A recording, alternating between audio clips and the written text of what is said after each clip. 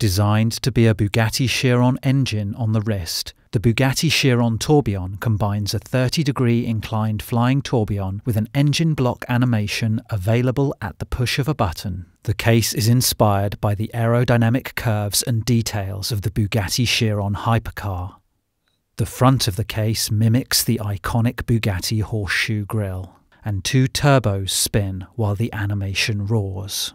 Automatons are nothing new in the watch industry, but for the first time ever, Jacob and Company has managed to recreate a hypercar engine in a tourbillon powered timepiece. Push the right hand crown and the tiny and very complicated crankshaft in the engine block turns. The 16 pistons fire and pump up and down inside the sapphire crystal engine block, recreating the action of the famous Bugatti W16 engine. The Bugatti Chiron Tourbillon is equipped with three crowns. The crown on the left is for setting. Simply turn it to set the current time.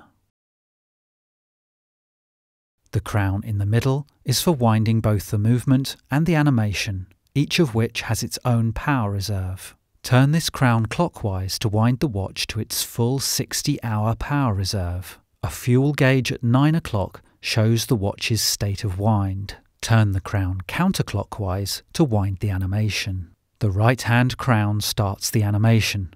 Push it in, and the engine fires up.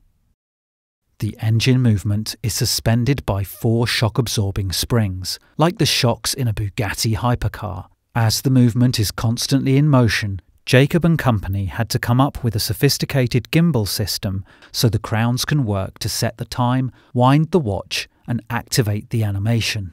The flying tourbillon is inclined 30 degrees and makes one revolution in 60 seconds. The Bugatti Chiron Tourbillon by Jacob and Company. For the first time ever, a Bugatti W16 engine on your wrist.